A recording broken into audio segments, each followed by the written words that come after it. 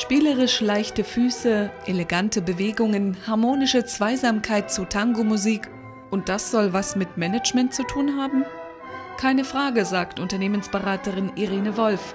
Schließlich müsse man sich im Beruf ständig positionieren und auf sein Gegenüber einstellen. Wie beim Tango muss, wenn ich mit einem Partner tanze, hat es eine, hat es eine sozusagen Zweisamkeit, ein, ein, ein Paar bewegt sich im Raum, genauso ist es im Arbeitsalltag. Auch da bewegen, bewegt sich ein Paar im Sinne von Führ, Führungskraft und Mitarbeiter im äh, Kontext der Aufgabe.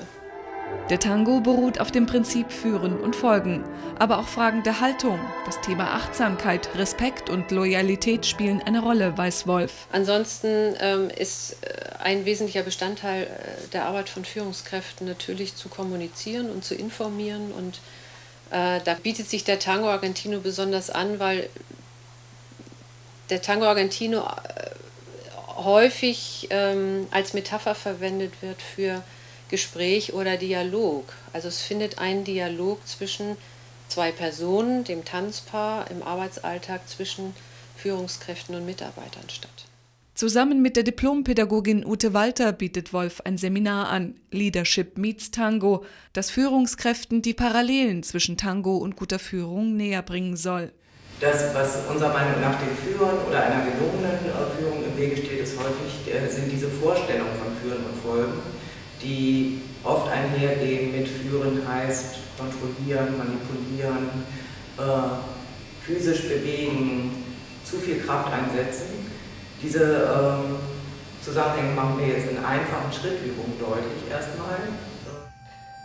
Diese Übungen zeigen zum Beispiel, dass jede Aktion eine Gegenreaktion hervorruft und dass es für Teamarbeit nötig ist zu erkennen, was tut der andere? Wie kann ich ihm folgen, um die Zusammenarbeit aufrechtzuerhalten? Einer gibt den Ton, in diesem Falle den Schritt an, der andere muss erspüren, wohin dieser Schritt geht. Für Führende zählt aber noch mehr. Zu gucken, wie stehe ich, wie klar treffe ich meine Entscheidung, äh, wie kommuniziere ich diese Entscheidung, äh, habe ich eine gewisse Scheu, in den Raum des Gegenübers einzutreten, aber die Klarheit meiner Bewegung ist eigentlich wichtig für die Führung und trotzdem auch noch eigentlich warten und zuhören und lauschen immer wieder als Schlüssel für beide Rollen eigentlich zu haben. Ich kann verbindungslos kann ich nicht äh, führen im Tango. Ich muss also immer wieder das Gegenüber in der Eigenwilligkeit in meine Führung mit hineinnehmen, wie es eigentlich auch im Führungskräftealter ist. Meine Mitarbeiter sind eigenwillig. Ne? Die haben eine eigene Schwierigkeit, einen eigenen Willen, eine eigene Unzulänglichkeit, die ich auch immer wieder aufnehmen muss. Die kann ich nicht ignorieren.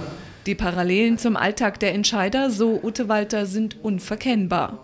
Im Tango muss ich auch Entscheidungen treffen. Ich muss den nächsten Schritt entschieden und klar führen. Ich darf mich nicht in so einer Unsicherheitsschleife befinden. Ich muss einen Bezug haben zu meinem Gegenüber. Ich muss eine Klarheit darin haben und trotzdem äh, in gleicher Weise lauschen wo mein Gegenüber sich befindet. Ich kann nicht losgelöst von irgendeiner Situation irgendwelche Entscheidungen treffen, sondern ich muss einen Bezug zu der Situation haben, wie sie ist und trotzdem auch eine Klarheit haben, eine Deutlichkeit, eine Standfestigkeit. Ebenso wichtig für gute Führung ist Selbstreflexion. Wer den täglichen Tanz mit Mitarbeitern und Arbeitsaufgaben künftig besser bestehen will, muss deshalb probeweise auch mal die Rolle wechseln.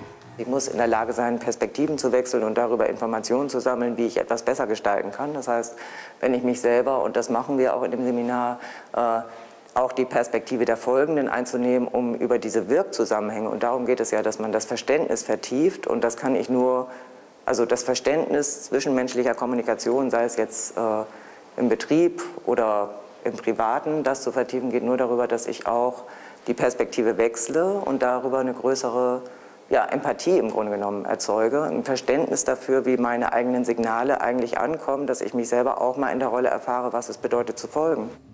Talent zum Tanzen müssen die Seminarteilnehmer nicht haben. Die Lust, sich zu bewegen, etwas Neues zu entdecken und sich auszuprobieren, reicht völlig aus. Die Reaktionen der Teilnehmer nach dem Leadership-Seminar bestätigen das. Manche sagen, das will ich lernen. Manche ähm, sagen, das war eine tolle Erfahrung.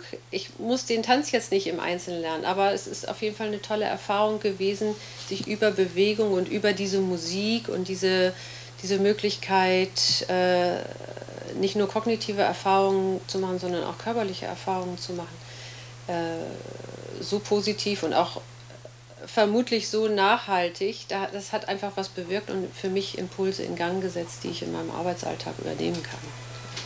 Dass gute Tänzer besonders gute Manager sind oder umgekehrt, einen solchen Zusammenhang können die Trainerinnen nicht bestätigen. Jeder kann in Sachen gute Führung seinen eigenen Stil prägen. Im Job wie im Tango.